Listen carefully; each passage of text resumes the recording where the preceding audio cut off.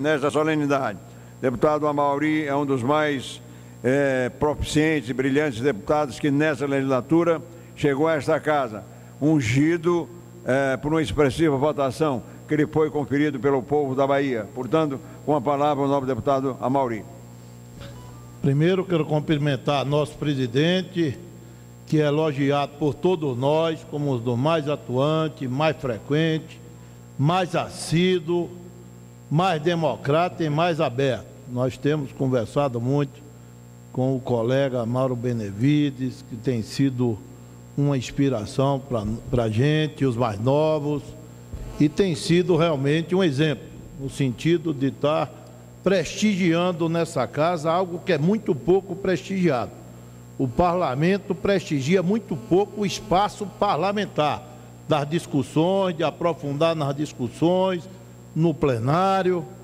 Eu digo que a gente tem muitos lobistas aqui nessa casa, porque não estão presentes nas discussões parlamentares, mas estão fazendo muitas vezes o jogo por debaixo do pano. E Mauro Benevides eu reputo como um verdadeiro parlamentar, porque prestigia esses espaços transparentes e públicos de discussão, inclusive sessões solenes. É muito ruim a gente ter uma sessão solene que, para homenagear uma das entidades que mais contribui para a discussão, para o aprofundamento de questões importantes nesse país, e tem tão poucos parlamentares presentes. É muito ruim isso, isso é, depõe contra a gente que é parlamentar. Mas Mauro Benevides tem prestigiado todo esse espaço e eu quero aqui lhe cumprimentar, especialmente na mesa, cumprimentar o colega Jorge e dizer que a Anfip, Jorge, é talvez a entidade que mais, junto com o DIAP, está Toninho ali do DIAP, né, essas duas instituições têm primado pelos estudos, pelo fornecimento do subsídio, Anfip que tem que ter feito uma defesa muito consistente dos auditores fiscais, dos servidores, da seguridade, mas tem feito, sobretudo, a defesa da Previdência Social, um dos patrimônios sociais mais importantes desse país, junto com o SUS, o maior distribuidor de renda deste país é a, é a Previdência Social e talvez do continente quem sabe, do mundo. A Previdência Social é um patrimônio social importante porque, sobretudo, faz distribuição de renda em um país que tem uma concentração de renda das mais altas do mundo. Está de parabéns, Anfi, pelos seus 50 anos, pela sua tradição histórica de defesa do Estado, de defesa dos servidores, mas, sobretudo, de defesa da Previdência. Nós vamos contar com a, com a FIP e com o DIAP para enfrentar a luta aqui na desoneração da folha. Eu, inclusive, estou com um questionário da Anfip para responder, tá certo? E eu acho que não tem espaço para reforma de previdência, não tem fazer uma reforma ampla. A grande questão que nós vamos nos debruçar aqui e ter que enfrentar, e a Anfip vai colaborar, como vem colaborando junto com o DIAP, enormemente, é a discussão é, da desoneração da folha, que nós consideramos que o discurso com o viés que está colocado agrava o problema da Previdência, tira uma referência importante e favorece as empresas sonegadoras.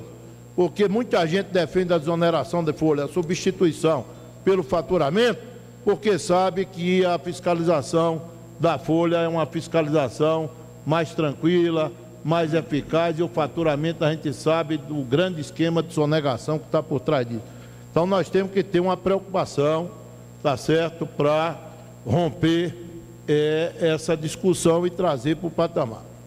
Quero também cumprimentar aqui minha colega Elizabeth, representando o Sindifisco Nacional, cumprimentar a George, que está representando a DS Brasília, auditor também, junto com a Elizabeth. Quero cumprimentar alguns parlamentares que estão presentes aqui e ressaltar. Policarpo chegou agora no parlamento, mas tem se destacado na defesa dos servidores, tem se destacado no, na defesa do Estado, de um Estado atuante, de um Estado preocupado com as questões sociais. meu amigo Chico Lopes, que também é um deputado atuante, tem outros que estão ausentes aqui, como o Vicentinho, mas ressaltar, sobretudo, a postura do colega Arnaldo Faria de Sá, que convocou essa sessão, sem dúvida nenhuma, Arnaldo Faria de Sá é um dos ícones desse Congresso, é um dos deputados mais comprometidos com causas importantes, como a causa dos aposentados, a causa dos trabalhadores e a causa da Previdência. Eu acho que se confunde aí até, por muito tempo, a trajetória da Anfip com a trajetória de Arnaldo, que tem feito essa defesa de forma enfática, de forma firme, e quero parabenizar Arnaldo, tá certo, por ter convocado essa sessão solene pelos 61 anos é, da, da Anfip. Sem dúvida nenhuma, ele, mais do que ninguém de nós, poderia ter feito isso e fez pelo compromisso e pela sua atuação. Infelizmente, Arnaldo, que convocou, não está aqui, mas a gente sabe como é a nossa vida. Tem diversos outros parlamentares, mas esse grupo de parlamentares que eu citei aqui tem se destacado na defesa das causas dos servidores públicos. Quero também cumprimentar José Fabrito, da frente da defesa da Previdência, e quero estreitar laços com Josefa e com todos os representantes de entidade para que a gente possa atuar conjuntamente com a ANFIP, Nelson Miranda, representante da, da COBAP, o José Oleskovski, que é o superintendente da primeira região fiscal, colega nosso, também cumprimentar por estar prestigiando esse ato. E dizer, por fim, que o nosso mandato vai se somar aí a desses parlamentares que têm experiência. Nosso mandato vai ser um instrumento, eu tenho dito isso. O mandato não pertence ao mandatário, o mandato pertence àqueles que o elegeram. Sem dúvida nenhuma, os servidores foram um dos segmentos que mais contribuiu para a minha eleição. Sem dúvida nenhuma, os colegas da Previdência se somou na minha eleição e nós vamos buscar corresponder. Nosso mandato vai ser um instrumento das entidades, um instrumento dos servidores, um, instru um instrumento dos auditores para enfrentar. Eu estou vendo aqui né, esse folder da PAFISP, que reclama a votação, a urgência na reclama, da PEC 555. Tem algumas injustiças. Nós somos servidores. Os trabalhadores têm participação no lucro? Tem. Os trabalhadores, é, Toninho, o DIAP aí que tem contribuído, quero lhe cumprimentar também, já tinha feito, mas quero especialmente lhe cumprimentar. Os trabalhadores têm aviso prévio? Tem. Tem participação no lucro? Tem. Tem outros institutos apropriados, nós não contestamos, isso é próprio da relação. É, tem FGTS? Tem, está lá no artigo 7, os direitos dos trabalhadores. É próprio da relação empregado-empresa. Mas tem alguns direitos que não faz sentido distinguir. Tem alguns direitos que é próprio do servidor público que também não faz sentido contestar, mas alguns direitos não pode distinguir é, em desfavor dos servidores. Em alguns momentos tem distinguido o servidor em desfavor. A condição da imunidade de contribuição social para os trabalhadores do RGPS. Diz que é vedado a tributação sobre o provento dos trabalhadores do FGTS. Está lá uma vedação é, expressa na Constituição.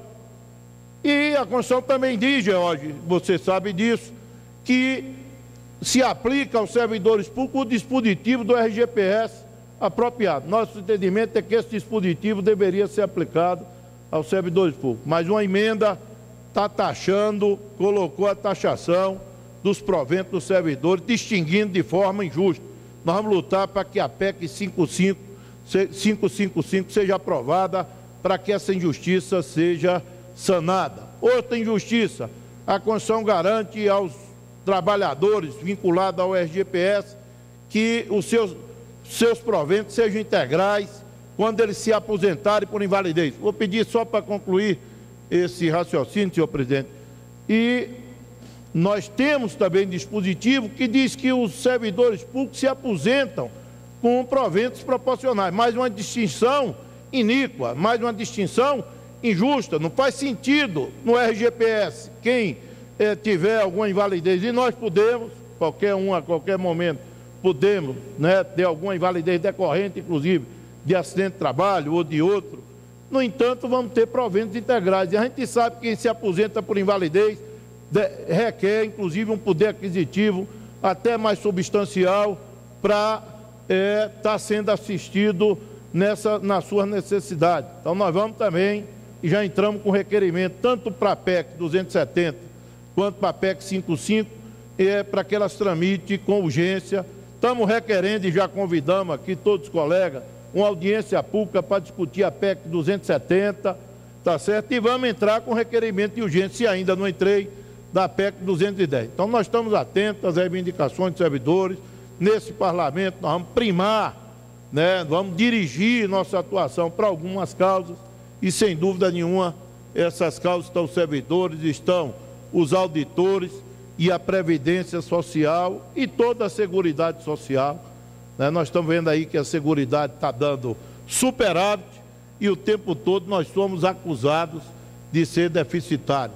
Mas a Constituição não fala em financiamento de previdência, fala em financiamento da Seguridade Social.